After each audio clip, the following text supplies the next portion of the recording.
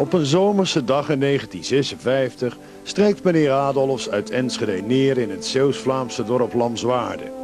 Meneer Adolfs is erg begaan met het wel en wee van de muziekkorpsen in Nederland. Vandaag wil hij de hele samenleving van Lamswaarde filmen. En als de film klaar is, mag iedereen het product komen bekijken. En dat willen de mensen uit Lamswaarde wel. Meneer Adolfs uit Enschede zorgt ervoor dat iedereen op de film komt. Ook alle verenigingen en alle clubs. En dat zijn er nogal wat. Het zijn de jaren 50. Een tijd waar iedereen wel lid is van een of andere club. In Lamswaarde is het niet anders. Je hebt er de Ruitersportvereniging, Sint-Michael. De dorpsfanfare, vrijheid, eendracht.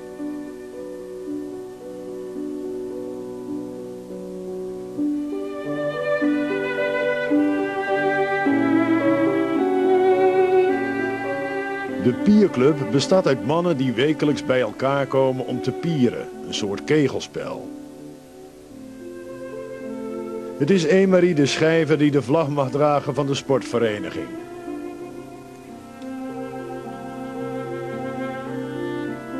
De volleybalclub. De wat grote man in het midden is Marien de Zwart, later hoofd der school in Kloosterzanden.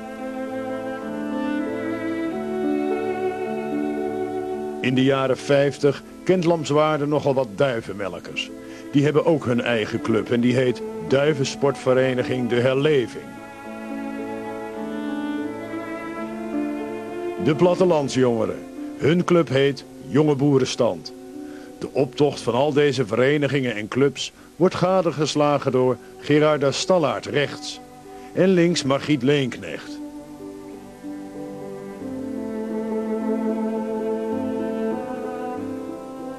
De Visclub. In het midden met hoed is Eduard de Wouw.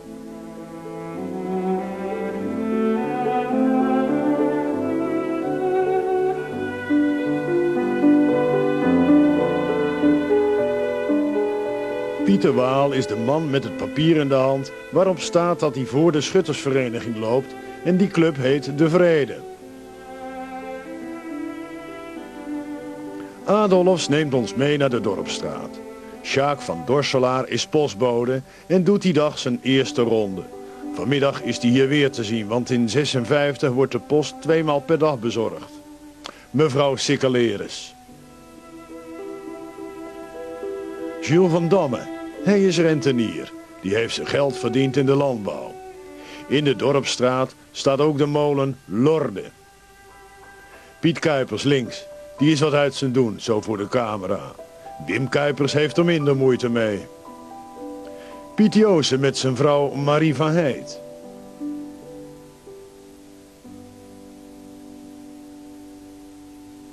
Rosalie Sponselee, zij is de vrouw van de postbode Sjaak van Dorselaar.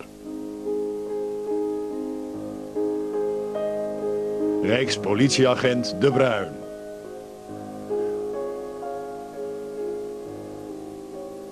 Een goed gemutste Louis Baard. De bevolking van Lamswaarde is overwegend Rooms-Katholiek. Dat is te zien als hier op zondag de Corneliskerk uitkomt. Deze leken hebben de vroegmis bezocht. Links met hoed staat Martinet, de Oostenrijker, want daar komt hij vandaan. Eens kijken wie we nog meer kennen. Ah, in het midden hier loopt Jacques Fruitier. Met pet en bretel is Desiree de Boy. Ja, ja, er zijn al wat gelovigen in Lamswaarde.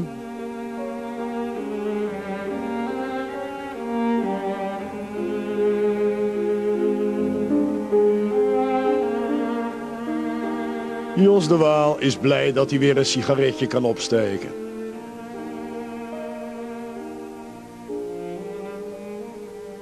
Theo Staal is de man met de bril.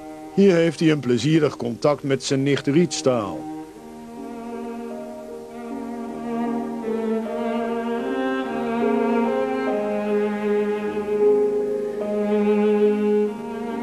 In visserkleding Fons de Bruin, een mosselvisser. Rechts met hoed Desiree Platjouw.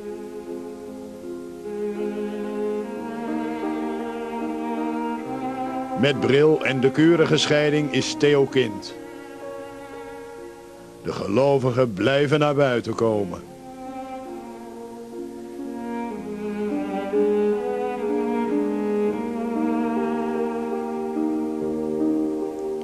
Joop Staal, hij draait een checkje.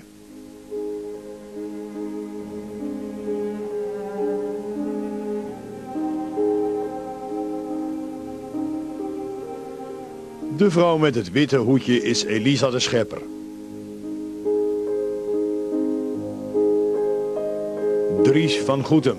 Hij is een soort ordebewaarder in de kerk. Naast de kerk staat het heilig hartbeeld, een afbeelding van Jezus die de mensen uitnodigt om tot hem te komen. In de Dorpstraat is ook het café van Fiel de Dijn. De familie De Dijn heeft behalve een café ook een smederij.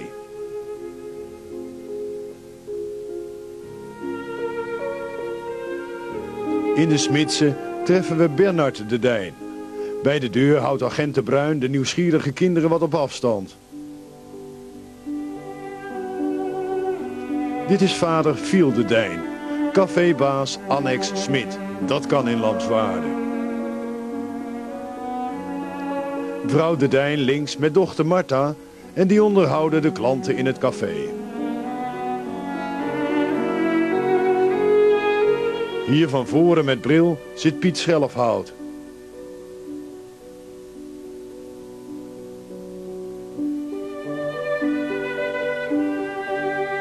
Kapelaan de Kerf met Joost Maas, altijd een pijp.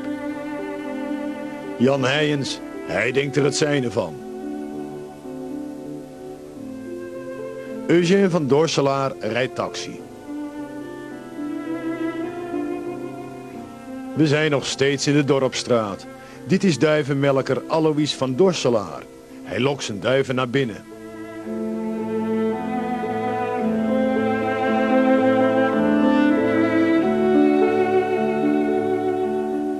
Piet Hulshout.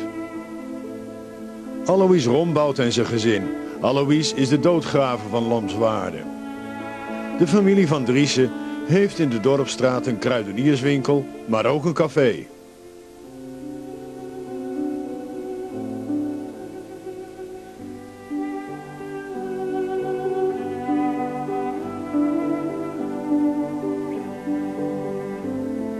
Van links naar rechts, Wies, Tiele en Julia van Driessen. Julia achter de snijmachine.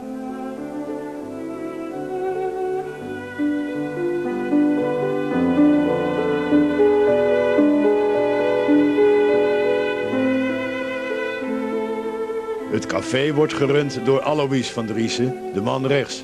Naast hem staat Theo van Driessen.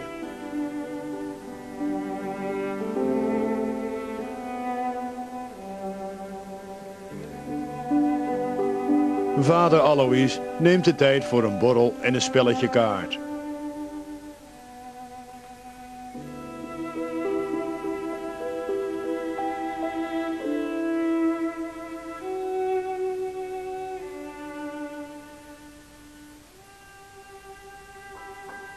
Rechts oud-postbode van Dorselaar samen met Eduard Cornelissen. Dolf Freken met kleindochter Imke.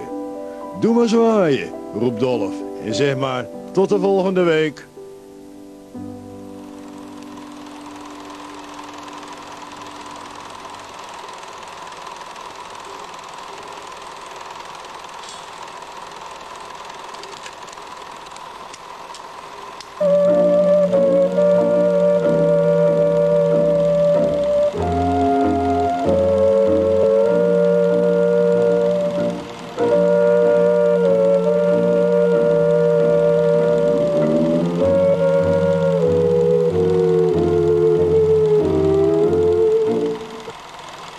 Een blik in de dorpstraat van Lamswaarde. Het is 1956. Behalve een dorpstraat hebben ze er ook de Achterstraat. En de Dreef, die heette vroeger de Schoolstraat. We trekken met cameraman Adolfs het dorp door en proberen zoveel mogelijk dorpelingen te filmen. Dit is Loken Magnus. die we tegenkomen in de dreef. Daar treffen we ook Marie van Troost met dochter Annie en zoon George. De dreef, van een andere kant gezien. Adriet Buizen moet van de fiets. Haar hoedje is van de hoofd gewaaid.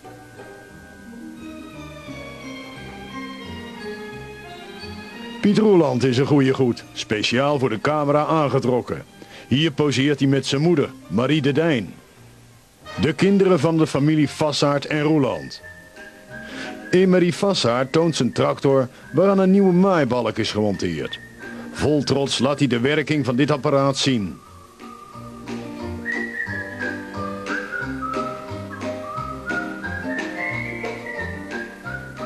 Emery heeft vele bezigheden.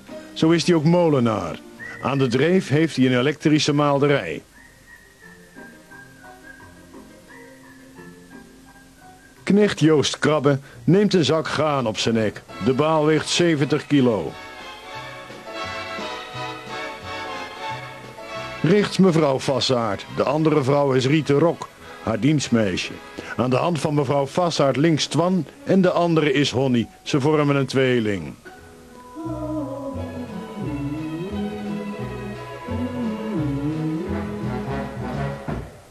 Emery die heeft ook een soort loonbedrijf. Hier laat hij zien dat hij beschikt over de modernste middelen in het bestrijden van onkruid en ziekten.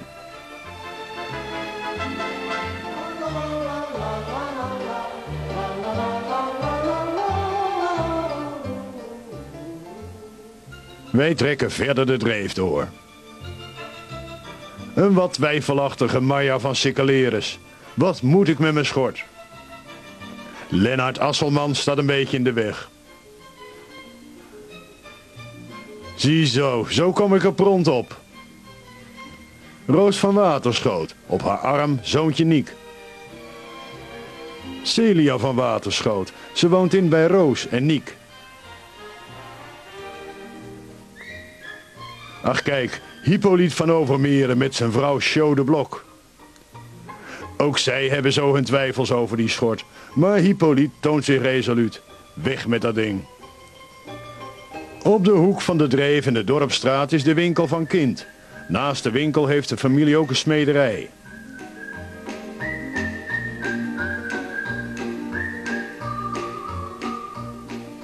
Dit is Theodor Kind, bezig met het bewerken van een ploegblad.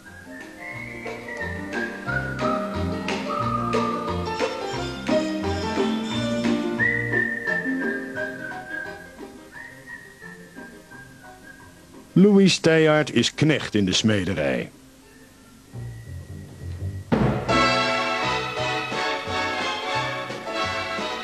Vader en zoon kind. Links zoon Theo en rechts vader Door. De winkel van de familie Kind. Daar bedient Piet Kind de klanten.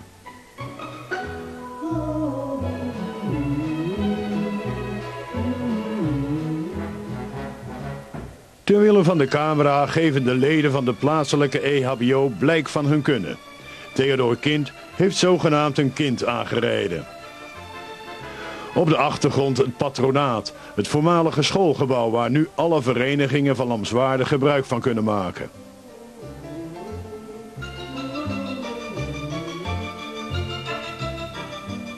Politieagent Ament hoort het relaas van Theo Kind aan. Terwijl zijn collega De Bruin zoveel mogelijk informatie voor het proces verbaal verzamelt.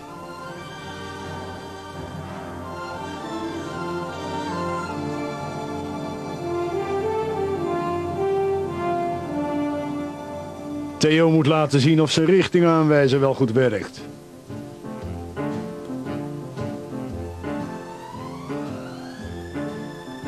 Ja, ja, zo gebeurt het tenminste eens wat in Lamswaarde.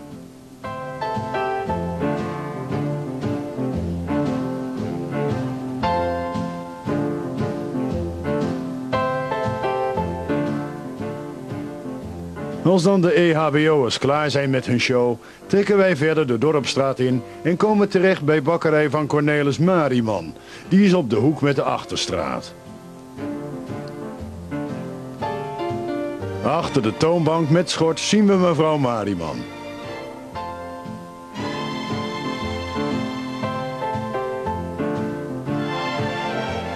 In de kruidenierszaak is van alles te koop. Van blikgroenten tot pijptabak.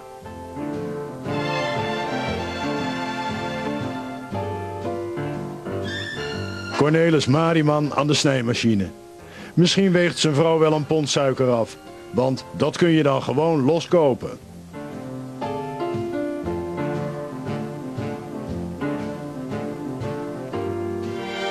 Dochter Marie is een beetje cameraschuw.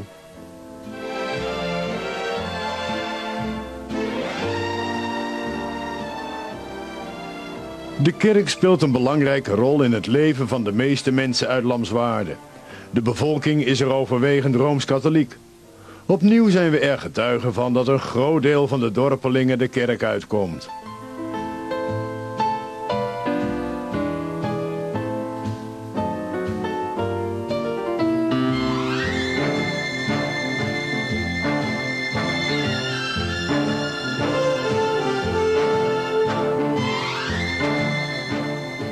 Drie Strobbe, hier rechts, is ook naar de mis geweest.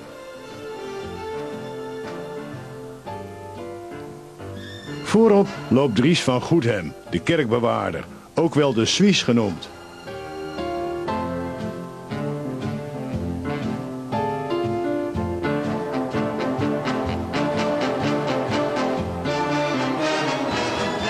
Het blijkt een optocht te zijn van de Lamswaardse maagdekens.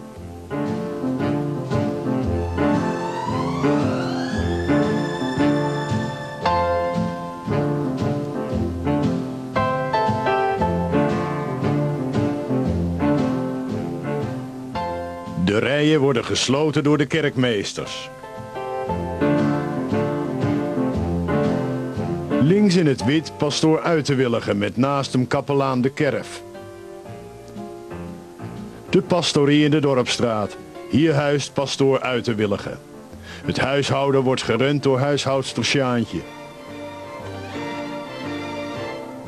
Pastoor Uitenwillige maakt zich op voor de vergadering met de kerkmeesters. Alvorens te beginnen presenteert hij zijn gewoontegetrouw een sigaartje.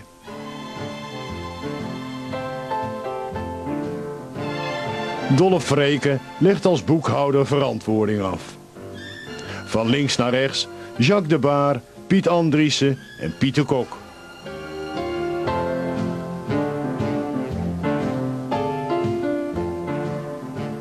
Kapelaan de Kerf. We nemen een kijkje in de Achterstraat. Links Louis Hulshout. Jules van Leemput is kolenboer. Ook heeft hij een bodedienst op Hulst. In 1956 stoken vrijwel alle mensen in Lamswaarde één of meer kolenkachels om hun huis te verwarmen. Eén of twee keer per jaar laten ze de kolenboer komen om het kolenhok te vullen.